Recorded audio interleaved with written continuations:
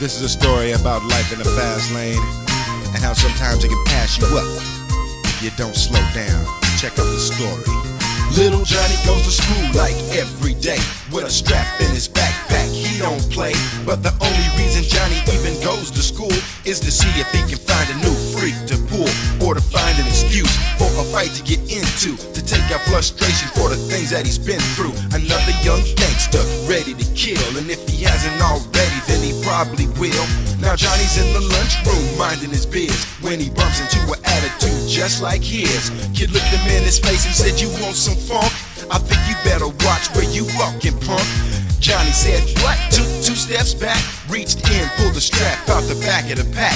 Pop, pop, kid was dead before he hit the ground. 25 to life, cause Johnny couldn't slow down. Slow down, slow down, slow down, slow down. You gotta slow down. Slow down, slow down, slow down, slow down. You gotta slow down. Slow down, slow down, slow down, slow down. But Johnny couldn't slow down. Slow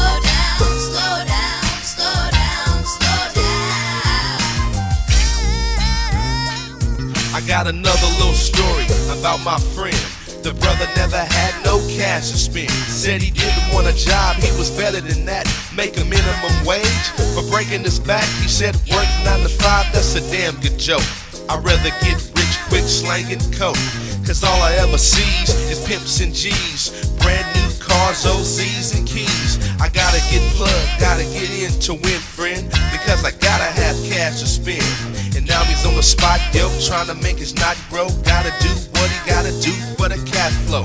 It's another payday on the grind. Hand on his nine, money on his mind. He didn't even see him creeping up from the back. Pop, pop, fade black, smooth jack, cause he couldn't slow down. Slow down, slow down, slow down, slow down. He couldn't slow down.